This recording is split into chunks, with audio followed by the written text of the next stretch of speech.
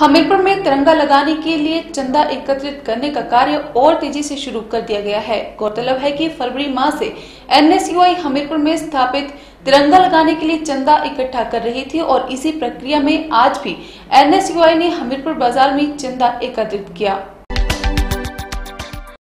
NSUI Hamirpur ने तिरंगा लगाने के लिए चंदा एकत्रित करने का कार्य और तेज़ी से शुरू कर दिया है। गौरतलब है कि फरवरी माह से एनएसयूआई हमीरपुर में स्थापित तिरंगा लगाने के लिए चंदा इकट्ठा कर रही थी और इसी प्रक्रिया में आज भी एनएसयूआई ने हमीरपुर बाज़ार में चंदा एकत्रित किया। आप सभी को ज्ञात होगा कि गत सात माह से हमीरपुर में प्रशासन द्वारा तिरंगा नहीं लगाया गया है, जिसका स्थानीय युवाओं और एनएसयूआई ने कड़ा विरोध किया है और इसी मुहिम के अंतर्गत आज एनएसयूआई हमीरपुर ने बाज़ार के दूसरे कोने में चंदा एकत्रित किया। एनएसयूआई जिला अध्यक्ष टोनी ठाकुर की अगुवाई में कार्यकर्ताओं ने मिशन तिरंगा की शर्ट पहनकर बाज़ार में चंदा एकत्रित किया। ठाकुर ने बताया कि एनएसयूआई पहले हमीरपुर कॉलेज और हमीरपुर बाज़ार के एक कोने में चंदा एकत्रित कर चुकी है और हिमाचल एनएसयूआई परिवार की तरफ़ से मिशन तिरंगा के लिए ग्यारह हज़ार प्रदान किए गए हैं। उन्होंने कहा कि अभी तक अन्य से हमीरपुर के पास पच्चीस हज़ार के करीब चंदा एकत्रित हो चुका है। उन्होंने कहा कि एनएसयूआई का पचास हज़ार के करीब जो लक्ष्य रखा गया था, वह भी जल्द पूरा हो जाएगा और साथ ही